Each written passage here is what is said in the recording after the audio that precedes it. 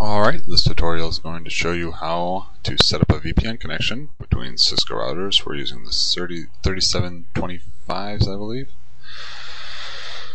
Alright, and we're going to simulate an actual internet connection. So what we're first going to do here is connect everything. And we're going to throw SDM out on the side. And I'm going to configure this interface. SDM test is the one we're going to use. Now these are all that is an actual loopback adapter. And what we're going to do is loopback adapter, blah blah, properties. And then you just change this 10 10 10 2. Default gateway, I'm going to make 10 10 10 1. Okay. Blah blah, and that's just saying multiple gateways because my local area connection is connecting out. Both have gateways with a whole lot of trouble with that. I will show you later how to make sure that the traffic gets routed out SDM test instead of out this local area connection. Alright, so now that that is configured, connected to there, and this is going to be held open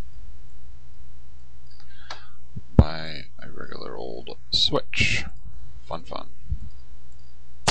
It's all being set up in GNS3 with loopback adapters.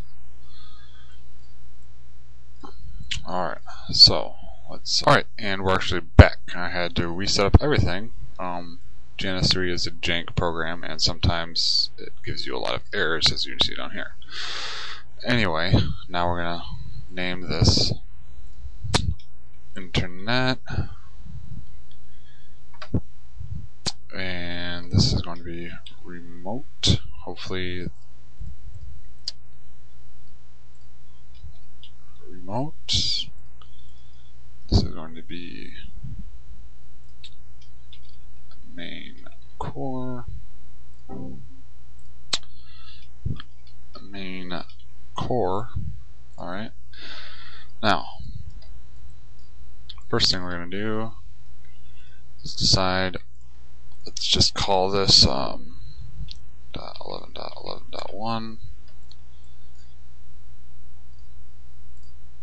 dot 11 dot 11 dot 1. 12.12.12.0. This is supposed to be 0. This is just the network. And those are going to be slash, just do them slash 24 to keep everything nice and easy. So those are two networks there, and the network on the far side will be 172.16.0.0 slash 24. Alright, and we already, since SDM's already set up that way, this has to be 10.10.10.0 slash 24. Alright. Now we're going to start up these routers, and you'll notice how my CPU usage is already up because of this, but you got to be really careful because this will peg your CPU, and then Dynamips will crash, and you'll lose everything. So what you want to do is start them up one at a time, make sure that they go down. If they do not go down, you'll go and hit idle PC, wait for it to idle out, and it should settle it all down. You'll notice I'm going to have to do an idle PC on that one before I go on, and hope it and hope that it uh, keeps it down.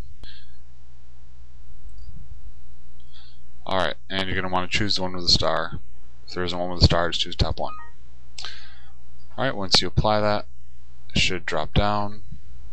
We're going to start up this last one. That doesn't peg. Looks like it's going to peg the CPU. Probably going to have to um, idle PC that one as well. I'll pause this. Alright, we're back. These are all idle PC'd out. We're running at 64%. Most of that is due to the video, and it's going to jump up and down because these things like to be a little crazy. First thing we're going to do console into the internet right now, and we're going to pop that out. And not the one we wanted. Let's just close that session for now. Internet. Alright. so, now I'm going to let me get this a little higher so that we can see it. Net router. Do it. Enable command, conf t. We're going to interface with FA00, which is connected to main core. So we're interfacing with that one right there. Now we're going to add, and everything's going to be dot 1 on this side and dot 2 on the far side. So 12, 12, 12, 1.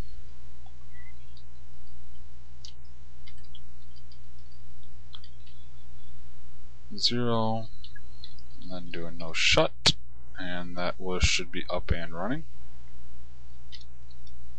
Alright, and now we're going to interface FA0 slash 1.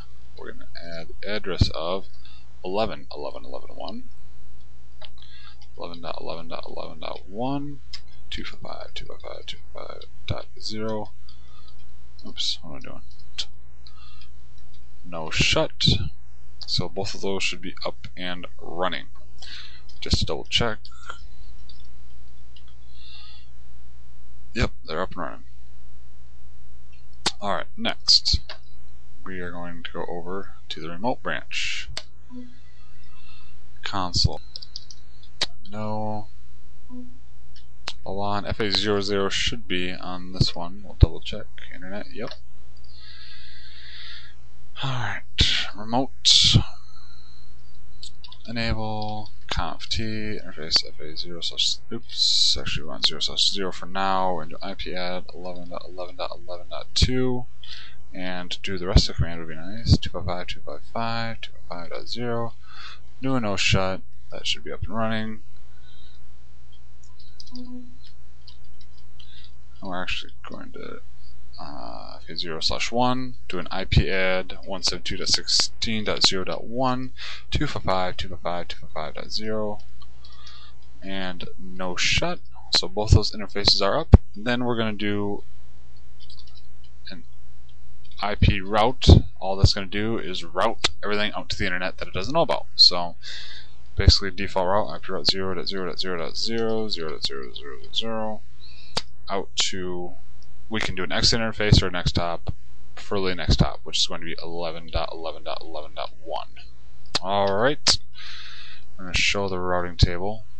172.11.1, boom. Alright, that should be all set up. Now we're going to go into the main core.